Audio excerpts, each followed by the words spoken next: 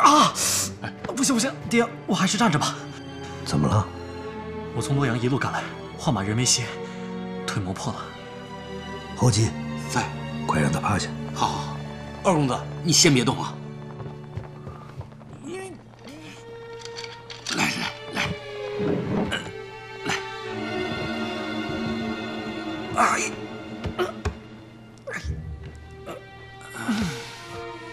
有什么消息？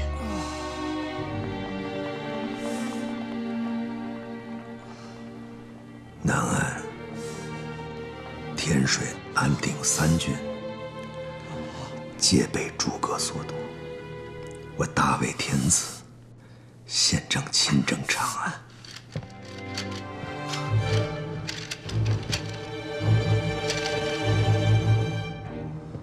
三郡呢？这么快就没了？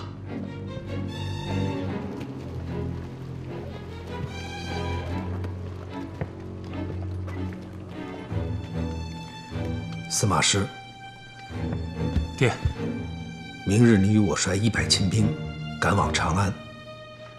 是。舒达，你与孙礼率大军随后火速赶到。二哥，此时情况不明，曹真尚在长安，你若带兵前去，曹真一定会问你擅自调兵之罪。眼下你又在新城，尚未稳妥。三叔说的对啊，爹。嗯。你为何不再等等？等曹真连长安都丢了，再无翻身的余地，你再去力挽狂澜呢？爹难道不想看曹真一败涂地的样子吗？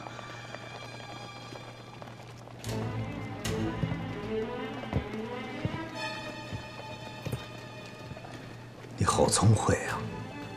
失去的三郡，是不是我大魏的疆土？是。若诸葛亮夺了长安，我大魏有亡国之患。你为何时时刻刻心心念念，总是权谋诡斗啊？随我呀！你把你刚才说的话再说一遍。你还有一点人臣的心思吗？你给我滚回洛阳！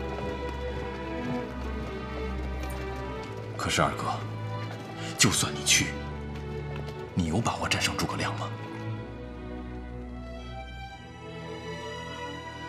现在看来，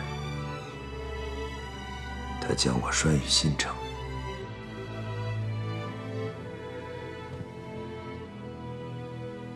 是不想与我交手。他心中对我心存忌惮。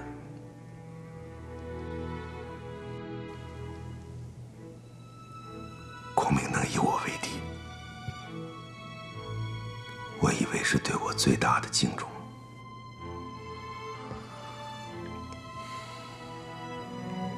我素来敬畏孔明，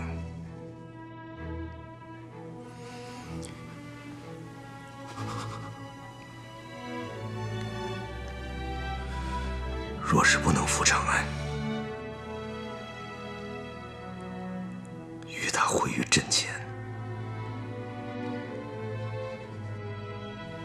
我一生都会心有不甘。我意已决不必多言。